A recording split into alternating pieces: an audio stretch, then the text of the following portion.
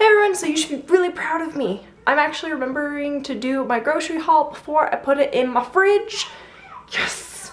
Score one for me. Okay, I am going to show you what I got. Now keep in mind, my husband actually isn't going to be here this week. He's going on a business trip, so it's just for the girls and I, and all of our meals are planned out. I'll actually show you our meal plan.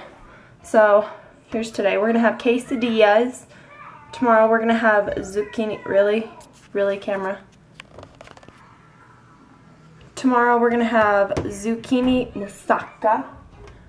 And then Monday's pizza, burgers, rice salad, pad thai, and sausage with broccoli. I still have a whole bunch of meat in our freezer, so I didn't have to buy any meat this week. But I spent $93 on all of this.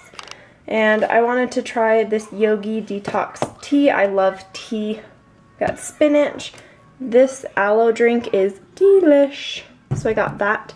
We have 10 oranges, 5 peaches that I'm going to make uh, baked peaches with, uh, 14 apples, frozen bag of blueberries, a big bunch of bananas, some stone ground whole wheat bread, a dozen eggs, a 5 pound bag of potatoes, some spinach, uh, tortillas, some feta cheese for rice salad, pepperoni for pizza, and then back here I have flour, quinoa, this is salsa and pad thai sauce, rice noodles for the pad thai, some more peanut butter, some pizza sauce, two things of coconut milk for me, some real maple syrup, and a big bag of mozzarella cheese.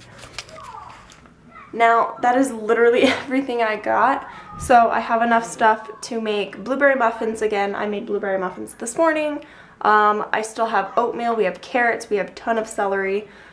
So pretty much our week is completely set. Like I won't have to go and get anything, which is awesome. That's what I got. I hope you guys enjoyed. Big hugs from my family, two years, and I'll talk to you later.